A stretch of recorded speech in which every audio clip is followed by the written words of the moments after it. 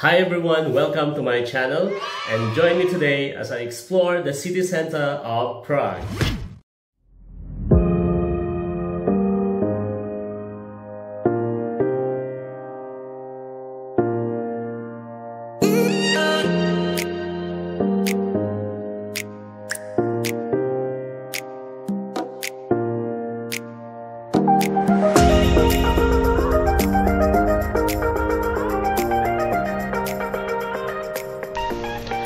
I'm in front of Franz Kafka's head right now.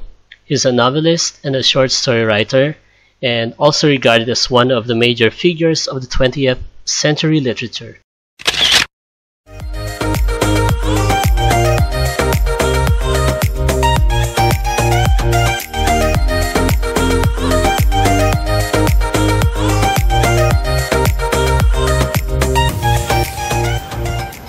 Prague is also known for its cubist architecture. In fact, I'm standing in front of one of it right now.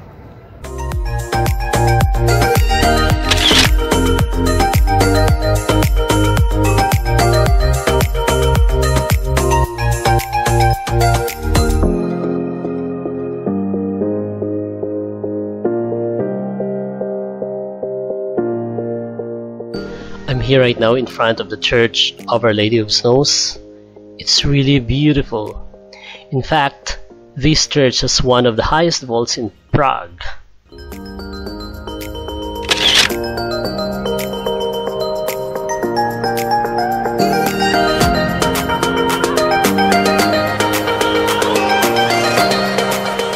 Who would have thought that there is a beautiful garden right in the middle of the city center of Prague? And this is the Franciscan Garden.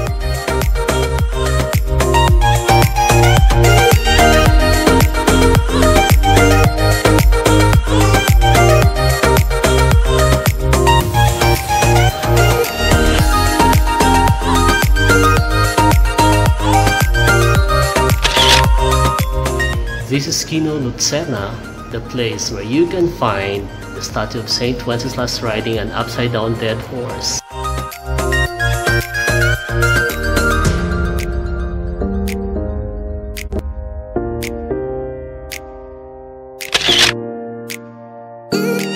Hey guys, thank you for watching my video. If you like it, please don't forget to hit like and subscribe. Bye!